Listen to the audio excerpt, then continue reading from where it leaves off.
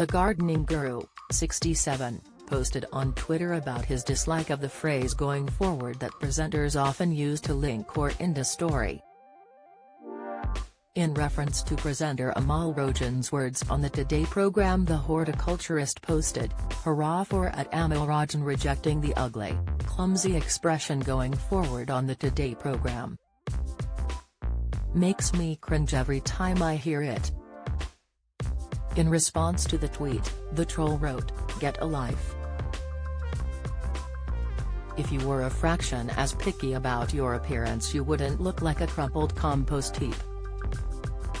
Going forward, when are you retiring? At that response, Monty simply replied, can't say Twitter isn't fun. Fans quickly flocked to his defense and shot down the troll's offensive tweet. One fan wrote, he looks like someone that spends a lot of time outdoors, gardening, which is kind of handy really since that's what he does. Personally, I hope he never retires because has an absolute joy to watch and listen to, but that's a bit selfish, so hopefully retires whenever suits him? Another posted, why become nasty and personal when Monty was talking about an objective expression? I just don't understand the nastiness. While a third added, Monty's literally one of the sexiest men alive, what are you on? The trolling comes after it was revealed that the Gardener's World presenter responded to another troll who questioned his homemade gardening products.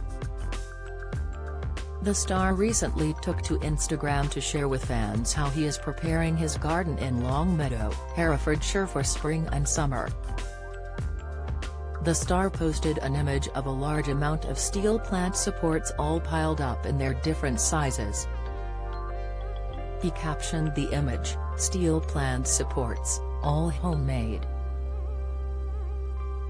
Bundled in size, ready for action this spring and summer.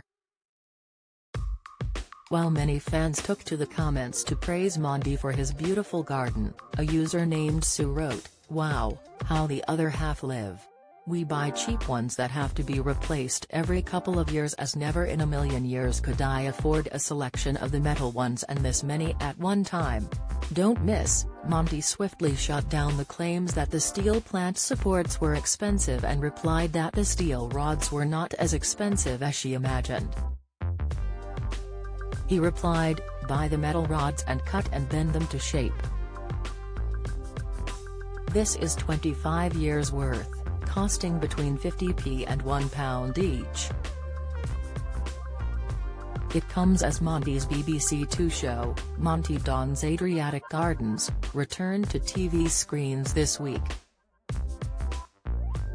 The three-part series saw Monty traveling across the world to discover how Venetians on the Adriatic coast have influenced both public and private gardens. The first episode saw him explore Venice on a barge. Then, the next installment saw Monty travel to Croatia. Finally, the presenter took viewers on a garden discovery around Greece, from Corfu to Athens.